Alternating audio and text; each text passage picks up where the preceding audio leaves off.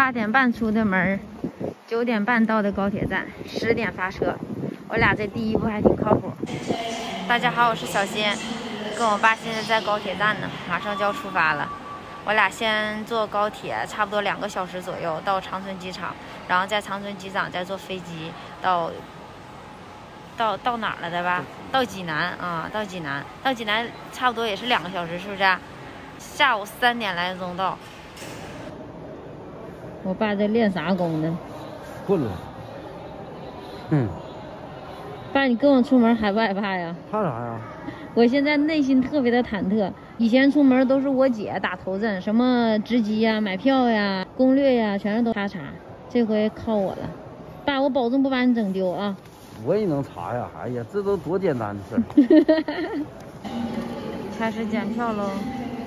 我的票其实买错了，应该买到长春机场的，但是我买到长春站了，多花了点钱。出发喽！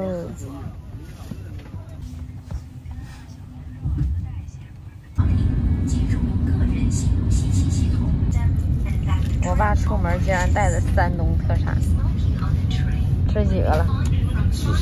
五个了。这玩意解饿呗。甜，好吃。高粱饴是这么吃的，拌的拉丝儿。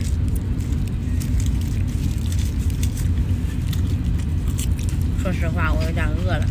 早上吃面条吃太少了，因为我到机场那面条太贵了，吃不起。齁甜的。八十万还有吗？有啊。你是不是带一兜子？带的有一斤吧。我爸出门带一斤糖。票虽然买错了，但是站下对了。龙嘉机场，成功抵达长春机场。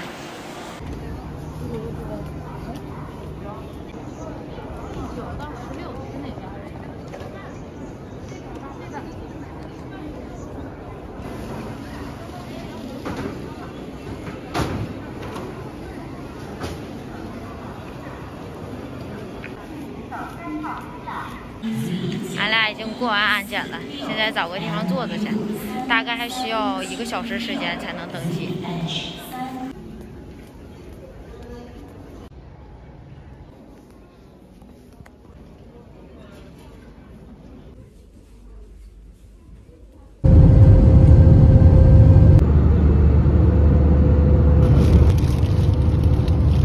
我早晨七点多吃的饭，然后在高铁上吃了一块糖。到现在都四点多了，给我饿的都不行了。还好，我吃了十来块糖。还好飞机上发了点面包啥的，让我垫垫脚。我是真饿了。安全落地了。